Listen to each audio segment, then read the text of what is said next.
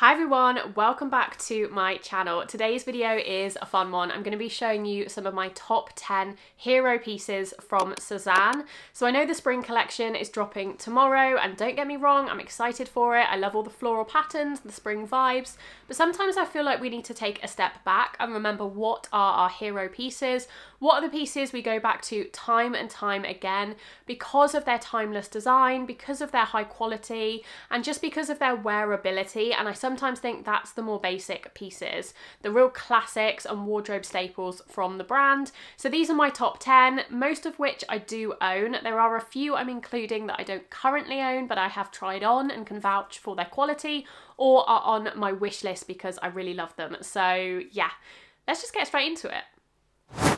First up, could I do a Sézane Heroes video without this item? Absolutely not. It is, of course, the Sézane Leontine. This was my first ever purchase from the brand. If you didn't know, before I started my YouTube channel, I bought this back in 2020, and it was really what introduced me to Sézane and made me fall in love with the brand.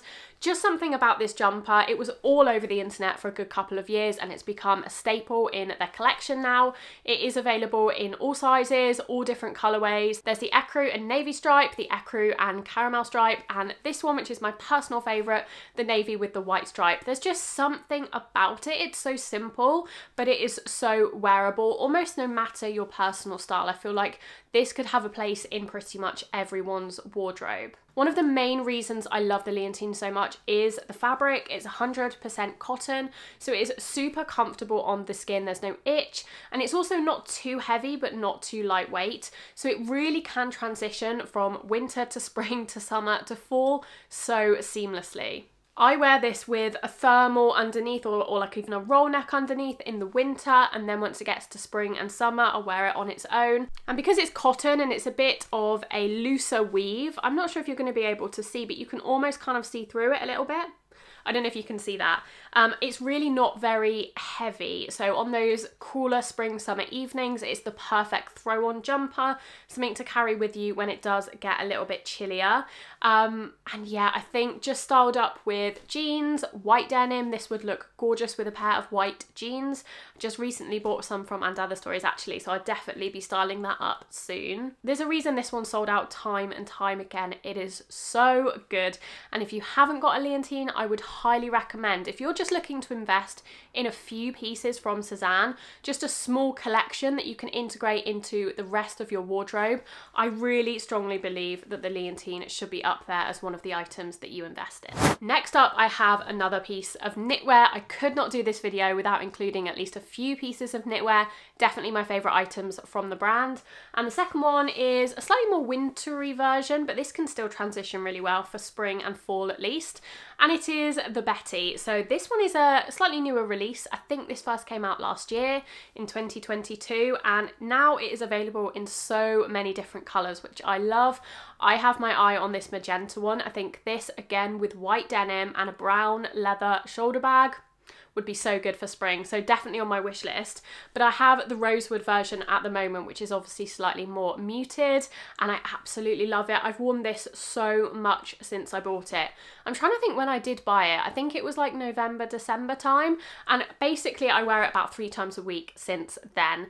It's again one of those jumpers from Sézane that are super, super comfortable. This one is 100% merino wool. There is zero itch. Merino wool is my new favourite fabric.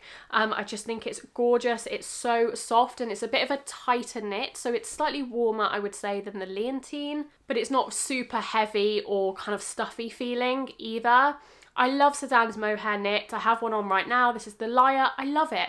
But does it scratch my skin a little bit? Definitely. Whereas if I want something, if I've got a long day or I just want to be comfortable at home but I still want to look good, I will reach for my Leontine or my Betty because I know they're going to be super comfortable to wear all day. Whereas this, kind of after a few hours, I'm kind of like, oh, I kind of want to take it off and get back into loungewear. So that's why I love these so much. And especially the Betty with the matching Matthew trousers for an at-home lounge set would be stunning. Absolutely stunning. If you want to look really put together in your loungewear, definitely recommend that as a set. But just on its own with jeans as well, it looks perfect. This one I also have in a size medium. This is another one that I would say runs true to size rather than oversized. It's definitely cropped well, it's not cropped, but it's definitely shorter than a lot of their knitwear. It's shorter than the Leontine again. Um, so I would definitely recommend staying true to size with the Betty. The buttons are beautiful on this one. Most of them have these buttons, but I know the striped version has shiny gold buttons, which I think is really fun as well. I'd love to get my hands on the striped one, but it is sold out, I believe, in all sizes. Um, so that's a bit gutting. But if that comes back in stock, I'd also be tempted by that one. Another one I just can't recommend enough. I honestly think because it comes in so many different colours, you're going to find one that suits you, whether it's a more muted tone, a neutral like the white one, or the coffee coloured one, or the striped one if you're into that Parisian style. There's just going to be one that suits everyone's style and everyone's wardrobe, and because they're so wearable, I feel like they're a really, really good investment. Okay, I have one more piece of knitwear to show you now. Now I don't actually own this at the moment, but I have owned it in the past and I absolutely love it. And I just felt like I couldn't do a Sézane Heroes video without this particular item. Can you guess what it is? Of course, it is the Gaspard cardigan. This is iconic. This is probably Sézane's most iconic piece of clothing. What they're most well known for, it's one of the items that they did way back in the day when they first started out. I think they started with the Barry first and then they brought out the Gaspard maybe a couple of years later. Definitely before I was ever introduced to the brand. So it's been around for a good few years now and it stayed in their collection for good reason. It is gorgeous. It's super feminine, super pretty, but super easy to wear, which is kind of the theme that runs through all of these items. I want these pieces to be super wearable. I don't want to have to think about how I'm going to style them up. They just do all the work for you, whether that's with a skirt, a pair of jeans over a dress. They're just so easy to wear.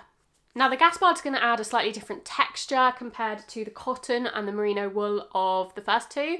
This is one of those fluffier textures like this one that I've got on, but I would say it's one of their least itchy. In terms of like the fluffy mohairy alpaca blend sweaters that they do, the Gaspard is on the less itchy side, which is another thing I really love about it. You don't have to worry too much about putting layers underneath it because I would say unless you're super, super, super sensitive, it's going to be fine for you to wear on bare skin.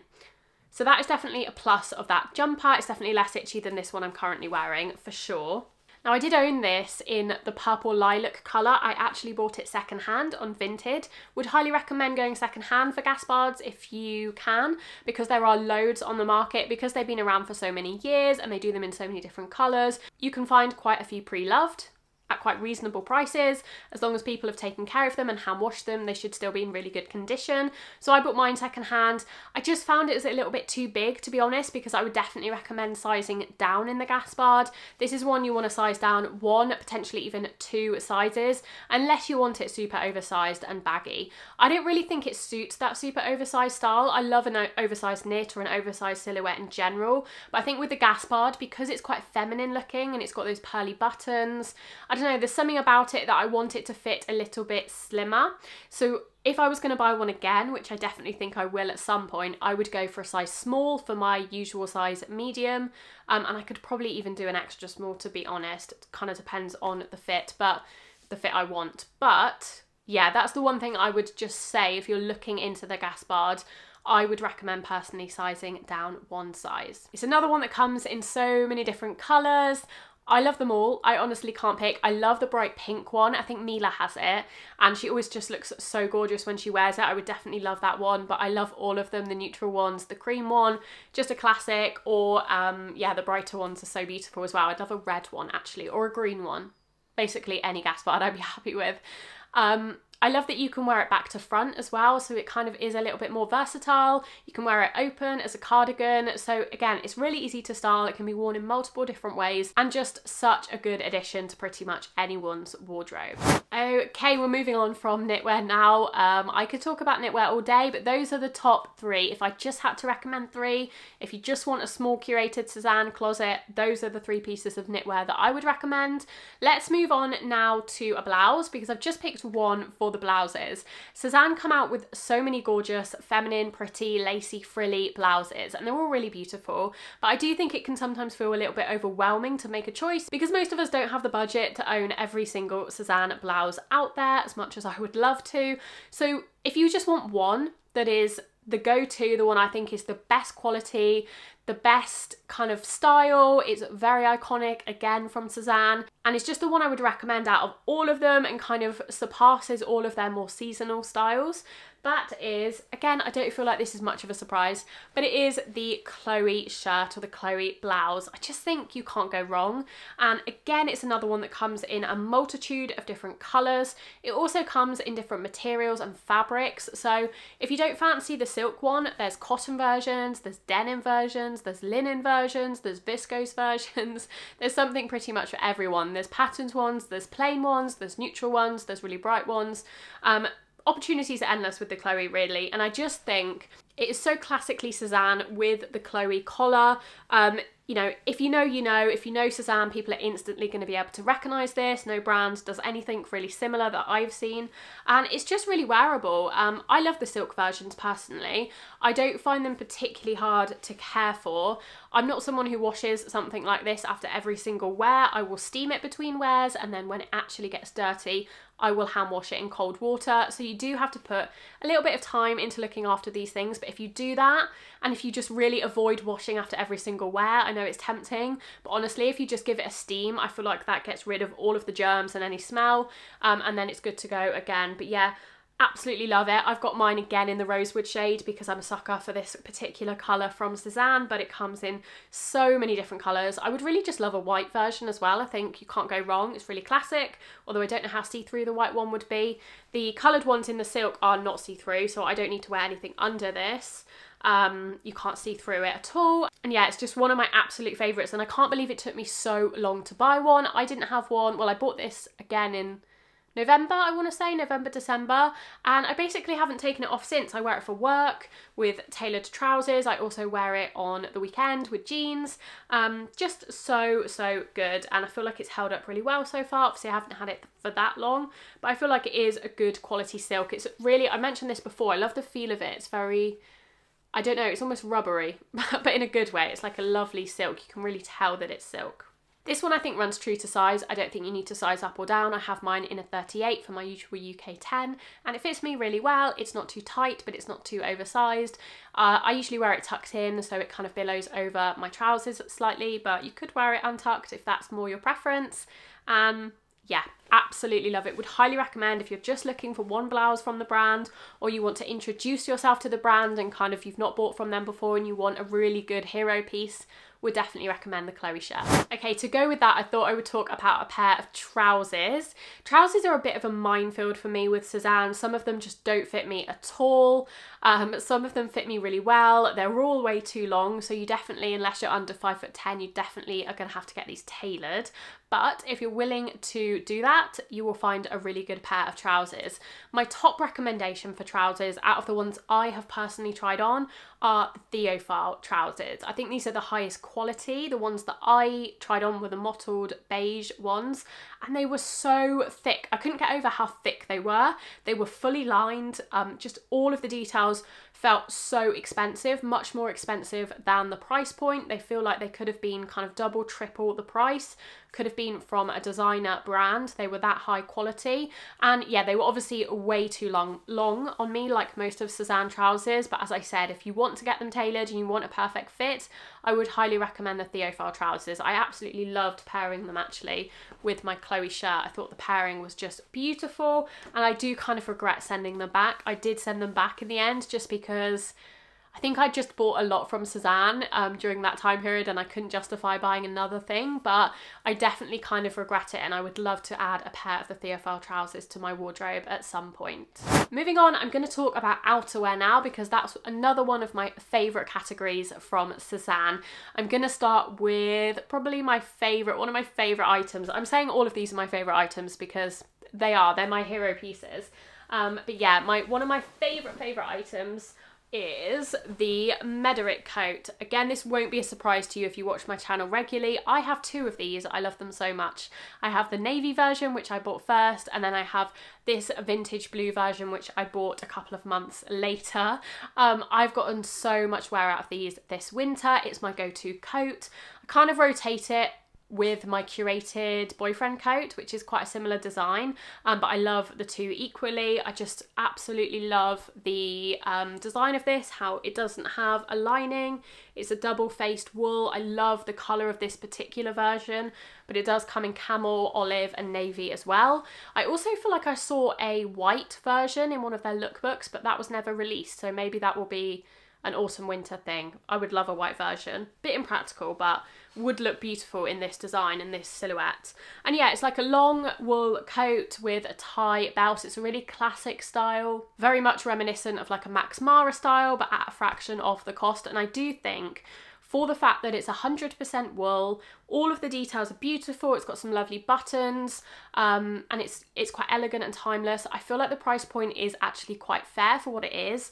I have looked at a lot of coats that are this price or more expensive and they are wool blends they are mixed with polyester. Um, they aren't 100% wool and this one being 100% wool I just think trumps a lot of the other ones. Um, at 370 pounds it's definitely an investment piece but it's one that you will have in your wardrobe for many years to come particularly if you get it in a colour that's going to go with a lot of your clothes I almost feel like the navy one might be more timeless for me, but I am really loving the vintage blue at the moment. Um, yeah, it's just one of my top pieces from Sézane. Obviously, we're heading out of winter now, so it might be one you want to bookmark for autumn, winter, 2023 when that arrives. Um, having said that, I did snow a couple of days ago here and there's still snow on the ground as I'm filming, so this is definitely still my go-to coat. I have not transitioned yet to my trench coat, unfortunately. Um, but yeah, I hope they keep this around as a core piece in their collection. I hope they don't get rid of it because I think it is so good. It's definitely my favourite coat that they do. They do some other styles that I just don't think are anywhere near as good. I have tried on a few. Um, I think I tried on the gym coat and um, yeah, I've tried on a few of their styles and usually they are wool blends, they aren't 100% wool. And I just don't think the quality matches up to the Mederick. So if you're looking for a Sezane coat, a winter one, then this would be my personal pick. I do have one more coat for you because I love this one as well. Um, so this is my, sorry, this is not a very good way to show you, but I will do cutaways. Um, this is the Sézane Scott Trench. This one is a more recent addition. I bought this back in January, ready for springtime. I still am yet to, to wear it much because it is so cold at the moment, but I'm hoping very soon this will be my go-to coat um, and I absolutely love it. Again, this is another one that I think the quality for the price point is really excellent. I think there are trench coats out there that are much, much more expensive that do not rival the quality of the Sezane one. I absolutely love it. Again, all the details are beautiful. I love the fact that the the belt is attached to the coat physically with buttons. So um, it never slips out, you never lose it, it never falls out, it never falls over too much to one side. That used to drive me absolutely mad with my old trench coat. It even has buttons on the vent, so you can open or close the vent depending on how flowy you want it to be, your height, things like that. It's just absolutely gorgeous. The lining is lovely, it's like a polka dot lining in the same shade as the outer uh, layer of the coat. It's just beautiful. It comes in three different colours. It comes in the classic beige, so if you're a real classic dresser, you want something that is the most timeless, go for the beige one, but I love the khaki and it also comes in navy as well. Another piece I feel like you can't go wrong with, I, I honestly feel like everyone should have a trench coat in their wardrobe. I'm not one who often kind of dictates wardrobe essentials because I think they're so different depending on your style, your lifestyle, how you like to dress, um, how casual or formal you need to be. But a trench coat is one of the things that I think is an exception to that rule because I just think everyone could benefit from a trench coat. They are so good for the transitional seasons, spring and autumn. I think they are perfect for that and they just look so chic particularly obviously if you do like that Parisian style. So yeah, the Scott Trench would highly recommend. Gorgeous, gorgeous coat. I am absolutely dying to be wearing that more often. I just need it to warm up a little bit more. And I feel like I've been saying that for months now, so hopefully soon. Okay, let's talk about accessories now. I do feel like one of the categories Sézane is most well known for are their belts. I think their belts are so unique. I don't know of another brand that do belts like Sézane. They have so many different styles and they're all so beautiful. It's like so much thought and attention has gone into the design of all of their belts. Whereas normally I feel like belts can be very plain, they can all look the same, they're very simple. Sézane always add those little touches to theirs and I think it makes them really special. My favourite one, um, a bit controversial because I feel like most people for Sézane Heroes, Sézane Classics would go for the Artemis belt, which is a lovely belt, but my personal favourite is the Gaia. I think the Gaia is just beautiful. I love, love, love the buckle on the Gaia and I love the shades that it comes in as well. I was really eyeing up the pink one for a long time, but I absolutely love the beige one as well. I think that would be so good for neutral, lighter toned outfits. And I love that it doesn't have belt holes. Um, so instead of kind of choosing a hole and dictating the size of it based on that, you just pull it to fit your waist or your hips wherever you're wearing it. So it probably fit more people because of that and you can really tighten it up to the exact position you want it rather than the size being dictated by where the holes are if that makes any sense. Yeah, I love the Gaia. It would be my number one recommendation for belts from Sézane. I don't own it personally, but the beige one is definitely really high on my wish list. Okay, we just have two more pieces to talk about now and I'm going to talk about shoes next. I own quite a few pairs of shoes from Sézane, probably about four. I've got a pair of boots, a couple of pair of sandals and these. And instantly I knew that these were the ones I wanted to include in this video because I think these are so good and the best shoes by far that I have tried from Sézane. and I know a lot of other people love these as well. And it is the Vicky loafers. So these ones are in the black, um, so the most classic pair, but they come in a few different colours now. The chocolate brown colour are beautiful, I want those as well. The white pair are gorgeous for summer, and I loved the red pair. I think they, they did those first of all, and I think they might be sold out now, but they were really nice as well. They're just such a good shoe. I love a loafer in general. I think it's a really timeless style, never dates, and um, I just love this particular take on a loafer. I love the simplicity. They're not too chunky, so obviously really chunky loafers have been on trend for a few years now.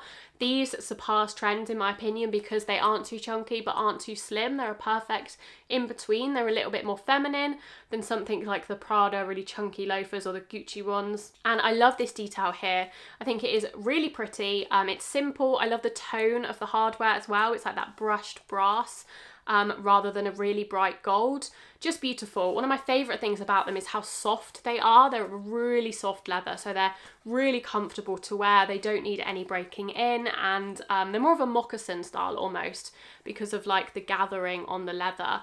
Um, they're just super comfortable to wear, and I absolutely love these. They're my favourite pair of loafers I've ever tried, ever owned. I have owned quite a few pairs of loafers over the past few years because they have been a staple style of shoe in my wardrobe for a long time now and these are my favourite I have ever tried. I'm so glad Sézane brought these out. I absolutely love them, would highly recommend them, particularly as we are getting into spring now and having kind of a bare top of your foot is a little bit more acceptable. We can kind of start wearing shoes like this as opposed to boots. I'm going to be wearing these a lot and as I said I would love a slightly lighter pair as well like a brown or a white um, for more lighter tonal outfits. So yeah I think whatever colour you get, you're going to absolutely love them. Everyone that I've recommended these to says they're so comfortable, they can walk so far in them, and they just look so good as well. The final piece I have is, oh, I was really debating what the 10th item should be in this video because there were quite a few that almost made the cut. Things like the wheel jacket, so iconic. I do really like it. Um, things like the Alicia skirt. I love the Alicia skirt. I've got one and I've tried a few versions. I think it's a really timeless style. I think it's really lovely skirt, but I just didn't feel like it was a hero piece. And the item I decided on in the end, after much deliberation, was the classic Milo bag. Now I love a lot of Sézane's bags. I think some of their leather goods are really lovely. I love the Faro bag. I love some of their straw and bucket bags. I love the Romeo bag even. But I feel like the classic Milo is the most timeless, the most chic, and yeah, the most classic of all of their designs and the one that if you were only going to pick one Sézane bag, I think that the classic Milo should be it. Now I don't own it and the reason I don't own it is because I already own the curated classic shoulder bag which is almost identical to the newly designed classic Milo. They did change the clasp on the Milo to be more like this um, rather than the old toggle clasp and they look really really similar they're basically the same size same length strap and I just don't need both in my collection I'm really happy with this one but if you can't get hold of the curated one or you would just rather have the Sézane one I would highly recommend it. I have seen it in store in person and felt it and the quality looks really lovely. It's obviously more of an investment piece. I think it's a similar price point to the curated one um, but I do think it's just it's so timeless and I love the fact that you can wear it crossbody or you can wear it on the shoulder, similar to the curated one. The curated one has two straps, so you can do both as well. Um, I'm really into a shoulder bag at the moment. It's my personal preference. I just, I like that kind of more 90s style at the moment, and I like the ease of just wearing it on the shoulder. It's really comfortable, really easy to to wear but also if you do want it crossbody maybe you're in a busier place and you just want it to feel a little bit more secure or it's more comfortable or you just prefer that look then you can also wear it that way as well. So nice and versatile and I just yeah I just think you can't go wrong. I think anyone's style would benefit from that particular bag.